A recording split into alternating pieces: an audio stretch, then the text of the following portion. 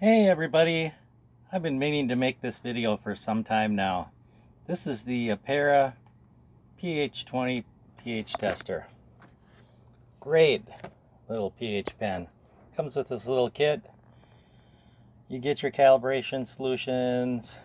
This little guard here you can put on the end to protect your bulb, which I uh, which I leave that off but I should have it on probably. Anyway, there it is. It's a nice little deal here. It comes with all this beautiful laminated stuff, certification, instructions. Nice.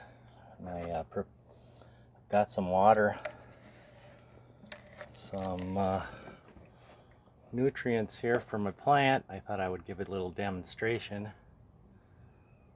I'll open this up here quick.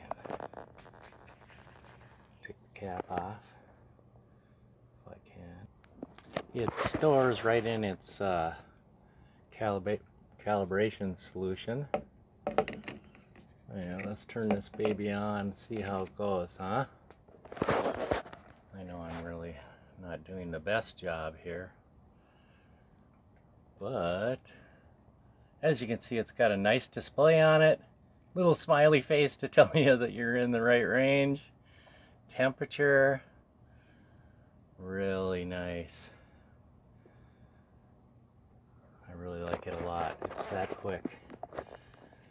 And uh, then when you put it away, you store it in your calibration solution so it automatically uh, will uh, calibrated for you. You know you're calibrated. Here, let me wash this off quick. Little distilled water. And wipe off the probe. You can't do it with both hands or with one hand. Put the cover back on here. It's filled to the fill line, which is wore off already. Stick it in there like that. Go to put it away. There you go.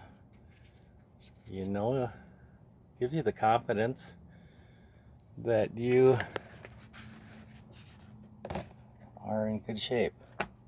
There it is, the Apera PH20. Love this pH pen.